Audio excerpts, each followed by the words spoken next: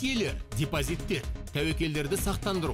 Бүгінде қаржылық жетістік тек көп ақша табу ғана емес сол тапқан ақшаны дұрыс басқаруды ұйымдастыру. Яғни сіздің ақшаңыз жұмыс істегенде сіз демаласыз. Бізге банк жүйесі не үшін қажет? Өзіңізге банк таңдаған кезде неге назар аудару керек? Валютаның жағдайы қалай болмақ? Қандай тиімді қаржылық инструменттер бар? Тағы да көптеген пайдалы ақпарат профинанс веб бағдарламасында. Соңғы жылдары Қазақстан ұлттық банкі ипотекалық қарыз алушылар мәселесін шешуге ерекше көңіл бөлуде. Үш жыл бұрын қайта қаржыландыру бағдарламасы бастау алған болатын. Біз ол туралы вебинарымыздың бірінде әңгімелегенбіз. Ал үстіміздегі жылы оның шетелдік валютамен қарызы барларға көмек көрсету бөліміне өзгерістер енгізілді. Сонымен қатар ұлттық банк халықтың әлеуметтік тұрғыдан осал деп табылған қарыз алушыларды қорғаудың қосымша механизмдерін дамытуда. Бұл қандай қосымша және де көптеген басқа да ақпараттармен 15 минуттың ішінде хабардар боламыз. Бұл профинанс веб қаржы туралы ең пайдалы вебинар барша көрермендерімізге жалынды сәлем. Бүгін студиямыздың қонағы ұлттық банктың өкілі Миниса Хуснудинова. Сәлеметсіз бе? сәлеметсіз бе мариям Мениса Хуснуддинова Қазақстан Республикасының ұлттық банкі қаржылық қызметтерді тұтынушылардың құқықтарын қорғау және сыртқы коммуникациялар басқармасы халықтың қаржылық сауаттылығын арттыру бөлімінің бастығы Миниса, ә, біздің елімізде тіпті басқа елдерде де ә, жылжымайтын мүлік, яғни несиелік жылжымайтын мүлік нарығы ә, тұтынушылар нарығын қаржыландыру жағынан өте ауқымды болып есептеледі. Соған қарамастан қазіргі кезде, яғни көпшілігі баспананы жалға алуда. Неліктен деп ойлайсыз? Әрине үйді несиеге сатып алу ипотека жалдаудан гөрі анағұрлым көңілге қонымды көрінеді. Өйткені тұрғын үйге меншік құқығы сатып алынғаннан кейін дереу иесінің атына рәсімделеді. Ал бұл әр адамға 20 жыл бойы пәтерді жалдай отырып кейіннен ол өз меншігіңізге өтетінін түсініп өз үйіндей сезінуге мүмкіндік береді. Сондықтан тұрғын үйді тіпті ипотекалық несиеге сатып алу оны жалдағаннан гөрі анағұрлым тиімді. Сол себепті мыңдаған қазақстандық отбасылар үшін ипотека бір кездері ұтымды шешімге айналған. Бірақ мұндай тұрғын үй несиесі ұзаққа созылатын дүние. Бір өзінің қаржылық жүктемесін бүкіл мерзімге дұрыс есептемесе, енді бірінің тұрмыстық жағдайлары күрт өзгерген. Әрине шамасы келсе қуана қуана төлер еді, бірақ та жағдайы келмеген соң төлей алмай жатыр. Яғни көмекке ә, мемлекеттік бағдарламасы қайта қаржыландыру бағдарламасы келеді. Миниса оның қалай жұмыс істейтінін ә, яғни толығырақ айтып берсеңіз. Бізде қайта қаржыландыру бұрынғы несиені өтеуге немесе несие шартының қолданыстағы жағдайын өзгерту үшін жаңа несие беруді көздейді. Бастысы қайта қаржыландыру бұл борышты өтеуге арналған жеңілдік екенін шатастырмау маңызды. Енді қарыз валютасына қатысты. Егер қарыз шетел валютасымен берілген болса онда несие мөлшерлемесін төмендету және несие мерзімін ұзарту жағдайында бағдарлама қарыз алушының борышын есептен шығаруды көздемейді. Өйткені алынған несиелер банкке қайтарылуы тиіс. Мемлекет қарыз алушының қарыздық жүктемесін азайтып жеңілдетеді бірақ толықтай есептен шығарып тастамайды.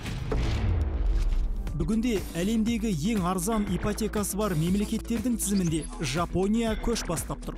Онда тұрғын үй несиесі бойынша мөлшерлемесі бір пайыздан сәл ғана асады. Күншығыс елінде ақшаның құнсыздану қаупі өте төмен. Ал жылжымайтын мүлік керісінше тым қымбат. Шаршы метрінің құны бойынша токио әлемдегі ең қымбат астаналардың біріне кіреді. Онда орналасқан үйлердің шаршы метрінің құны 7000 доллардан жоғары. Ал осака кобе және йокогама сынды қалаларында сәл арзандау. Шаршы метрі 5000 доллардан жоғары бағаланады. Жылжымайтын мүлікті сатып алуға жергілікті тұрғындардың бәрінің бірдей қалтасы көтермейді. Сондықтан олар ипотеканың көмегіне жүгінеді. Дегенмен несиенің төмен пайыздық мөлшерлемесі бұл мәселені шешуге ықпалын тигізеді.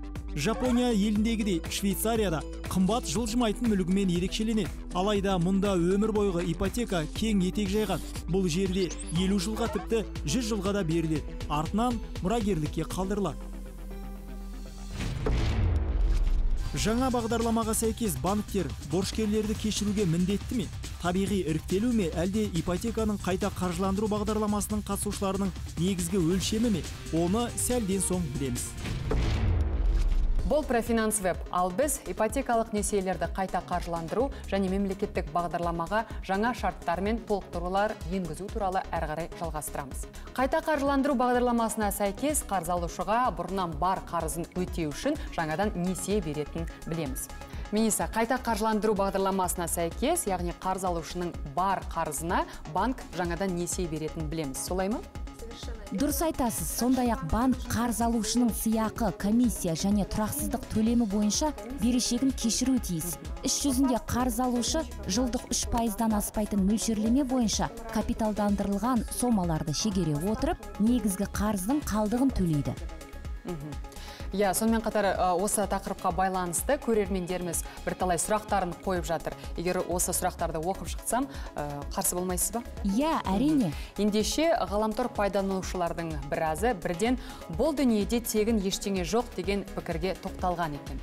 Бұл борыштық міндеттемелерді азайту туралы мәселеге қатысты. Міне тағы бір пікірді руфина т деген кісі қалдырған екен. Біреудің ипотекасын кешіреді ал біреулерді коллекторлар үш тиын үшін артынан іздеп жүреді деп жазыпты. Олай болса халықты тыныштандырмаймыз ба? Бұл шынымен де яғни тегін дүние ме? Және де бір кездері тұрғын үйге алған несиелер расымен де кешірілді ме? Қайталап түсіндірейін. Бағдарлама қарыз алушының қарызын толықтай кешіруді көздемейді. Тек оны төлеудің шарттарын жеңілдетеді. Бағдарлама қайта қаржыландыруға жататын қарыздардың нақты өлшем шарттарын анықтады. Бірінші кезекте бұған несие беру мерзімі кіреді. 2004-2009 жыл аралығындағы кезеңде берілген қарыздар қайта қаржыландыруға жатады. 2015 жылғы бірінші қаңтардағы жағдай бойынша осындай қарыздар бойынша негізгі борыштың қалдығы 36,5 миллион теңгеден аспауы тиіс. Қарыз алушы негізгі қарызын көрсетілген лимитке дейін өтеген жағдайда қайта қаржыландыруға рұқсат етіледі. Ал негізгі критерий қарыз алушы мен оның отбасы үшін несие беретін жалғыз ғана тұрғын үй болып табылады. Мениса, биылғы жылы бағдарламаға яғни толықтырулар енгізілді. Осы жөнінде тағы да не айта аласыз иә үстіміздегі жылы мемлекет басшысының тапсырмасы бойынша бағдарлама кеңейтілді. Оған 2016 жылдың бірінші қаңтарына дейін яғни қазақстанның еркін құбылмалы айырбас бағамы режиміне көшуі кезінде шетел валютасымен қарыз алған валюталық ипотекалық қарыз алушылар енгізілді. Несиелер 2015 жылдың 18 тамызындағы бағам бойынша теңгемен қайта қаржыландырылатын болады. Бағдарлама қосымша 22 мың қарыз алушыны қамтиды. Сондай ақ оның қазақстанда жүзеге асырылуына байланысты жеке тұлғалардың барлық валюталық ипотекалық несиелері теңгеге аударылады.